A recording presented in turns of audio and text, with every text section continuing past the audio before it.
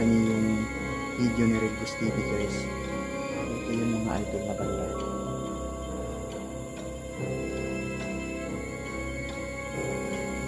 Guys, bababa tayo mga idol.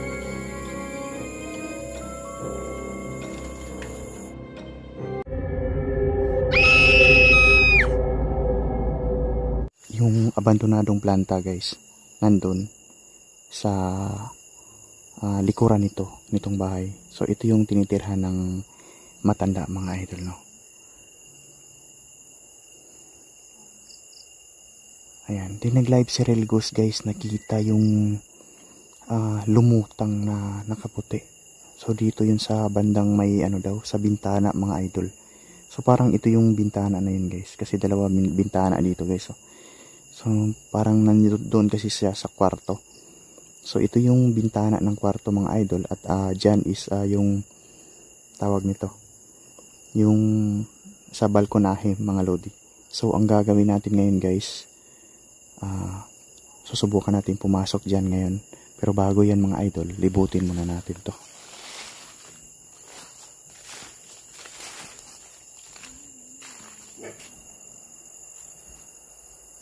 Ayan guys, papasokin na natin to.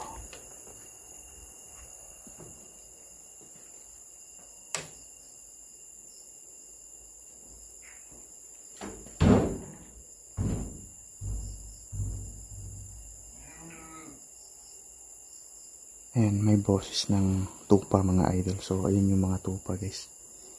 Sa, ano, ayan. Ano yung tupa mga lodi. So, gaya pa rin ng dati guys. Kung napapansin ninyo, nandito pa rin yung mga gamit guys. Ayan.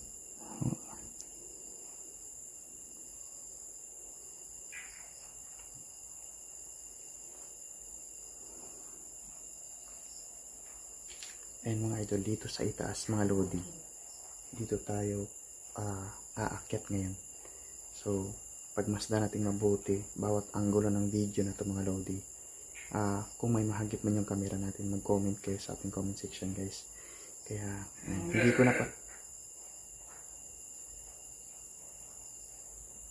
Ayan mga lodi. Hindi ko na patatagalin to. Pasukin na natin yung itaas na bahagi ng kubo na ito mga lodi.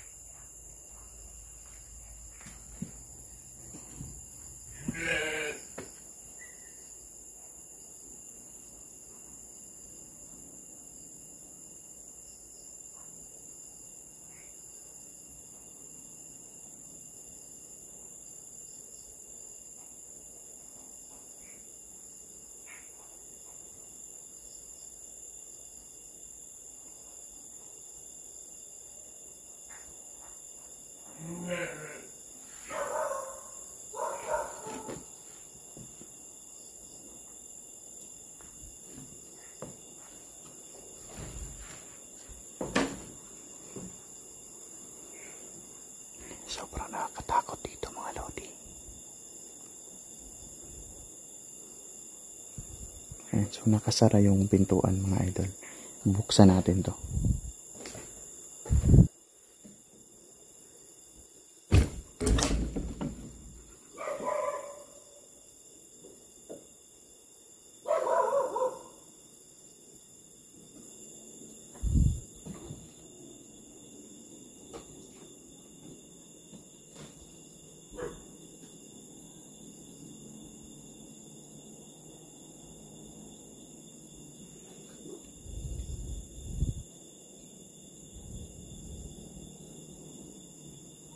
Grabe guys, nakakatakot dito.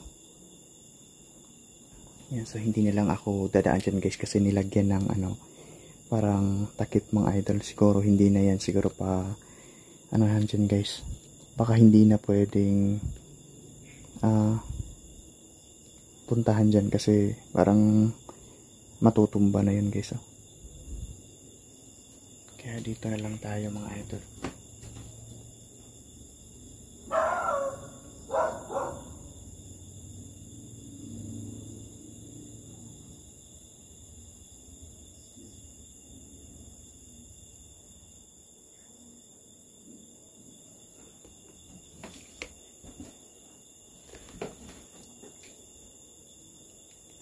Ayan, mga Lodi, kung naalala niyo yung video ni Real Gus TV guys, dito yun mga idol na banda. So, dyan na ano guys, na bintana na yan. So, nag-live si Real Gus TV, nandito nakalagay yung ano niya, yung, ah, yung banig niya guys. Yung higaan niya mga idol. Dito siya humiga, tapos yung camera niya guys dito. Guys, live yun mga idol. Yung naganap yung pangyayari guys. May biglang may biglang ano guys yung dumaan dyan sa ano biglang dumaan dyan sa bintana mga idol sa kanyang live. So doon ako nagtaka bakit may ganun dito na elemento mga idol.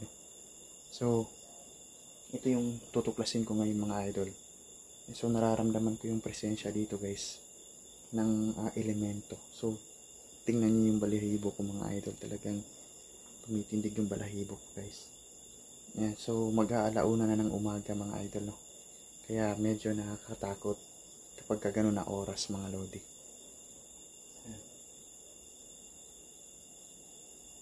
Grabe. Gusto ko sana matulog dito guys. At ah, magmasid sa paligid. Kaso, wala akong dalang banig mga lodi. So, baka may mga ano dito guys, may mga tawag ito, insekto or kulisat ba na gagapang dito at ah, makakagat tayo mga lodi no? kaya ngayon i-explore lang natin yung paligid dito guys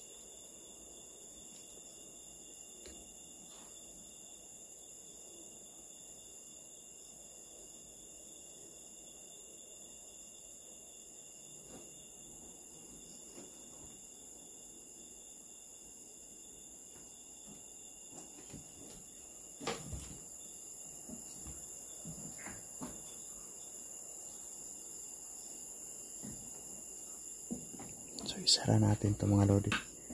Kasi nakasara to kanina. Kaya isasara natin ngayon.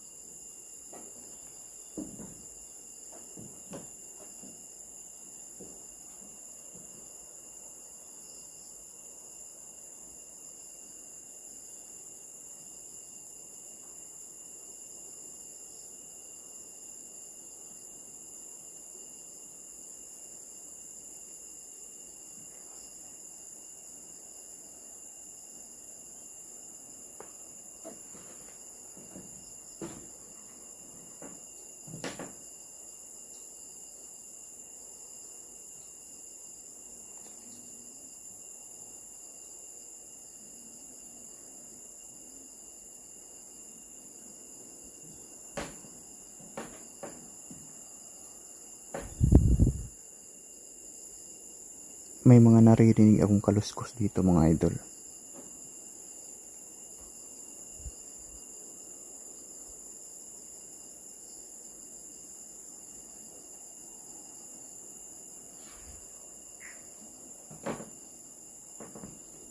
Guys, bababa tayo mga lodi.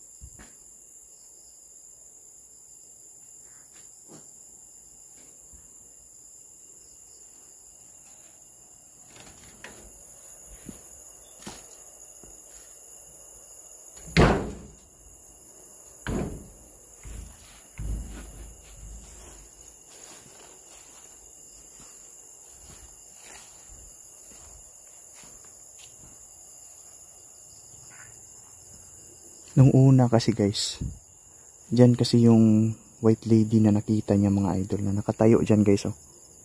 Yung white lady na yun mga idol.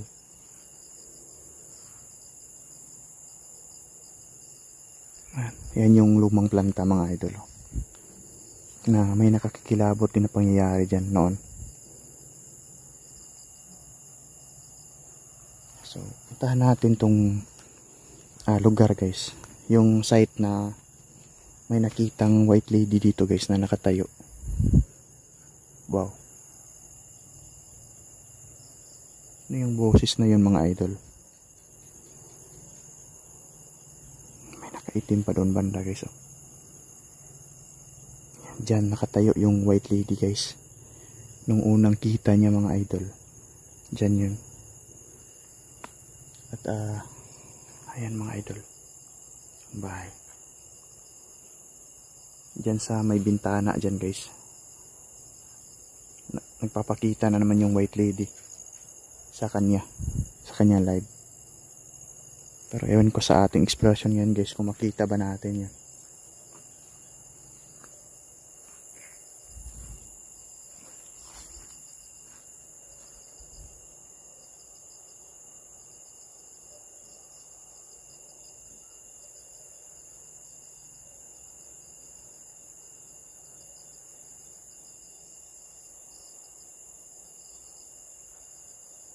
Wow.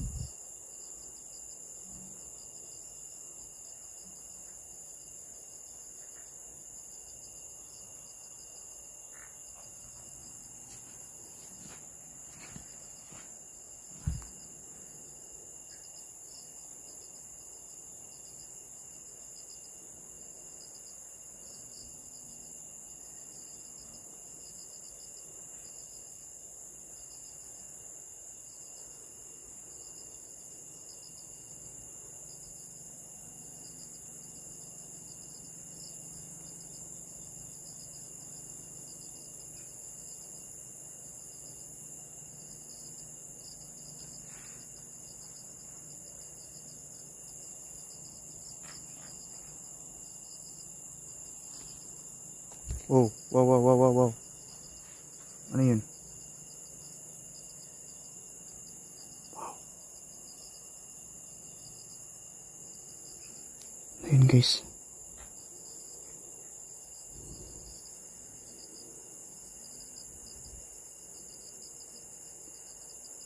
Parang may dumaan bigla mga idol.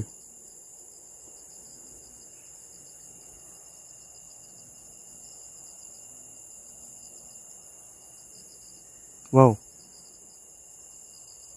Huwag mo akong sasaktan ha, elemento. O ikaw ba yung white lady? Baka nandito ka sa paligid. Huwag mo akong sasaktan.